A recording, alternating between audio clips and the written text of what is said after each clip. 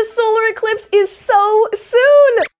Can you tell how excited Squeaks and I are? We're going to be able to see the moon block the sun so it looks like nighttime during the day. We've learned all about how an eclipse happens, but there's one more really important thing we need to talk about how we're actually going to watch the eclipse. We're going to make a special viewer that lets us see the eclipse safely, and you can follow along and make one for yourself too. Looking straight at the sun is always very dangerous because the light from the sun is bad for your eyes even if it doesn't feel like it's hurting you. It's dangerous to look at the sun during an eclipse too, because the moon won't be completely covering the sun except in a few places for just a couple of minutes. That means if you look straight at the eclipse, you'll still be looking at some of the sun's light and hurting your eyes. One way to safely watch the eclipse is with special eclipse glasses, and if you're going to use those, you need a grown up to make sure you have a good pair that are safe. But there's another super safe way that you can see the eclipse. It's called a pinhole viewer, and you can make it with things you probably already have at home or at school. All you need are two pieces of stiff white paper, like a paper plate or a type of thick paper called cardstock. Besides that, all you'll need is a pair of scissors,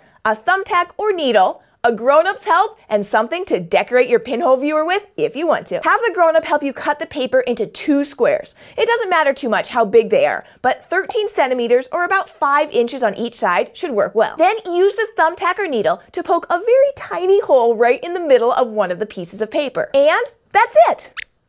Yep, it's as easy as that. If you want to decorate your pinhole viewer, you can color the piece of paper with a hole in it however you want. Just make sure to keep the other piece plain. Now, here's how you use it. You can test it out before the eclipse so you'll be nice and ready. Go outside on a sunny day and face away from the sun. Hold the paper with the hole in it over your shoulder and hold the second piece out in front of you. Move the second piece of paper toward or away from you until, do you see that? It's a projection of the sun, clear enough to see, but dim enough to look at. It works because the viewer acts kind of like a camera, except it doesn't need batteries and it doesn't save the picture. Only a little bit of light can fit through that tiny hole in the paper, and when it passes through the hole, it makes a small picture of the sun on the second piece of paper one that's dim enough for you to look at safely. Now that we have our eclipse viewer, we're all set to enjoy the show on August 21st. If you want to learn more about the eclipse before it happens, Squeaks I were just talking about it the other day, so you can go check that out. Thanks for joining us, and we'll see you next time here at the fort.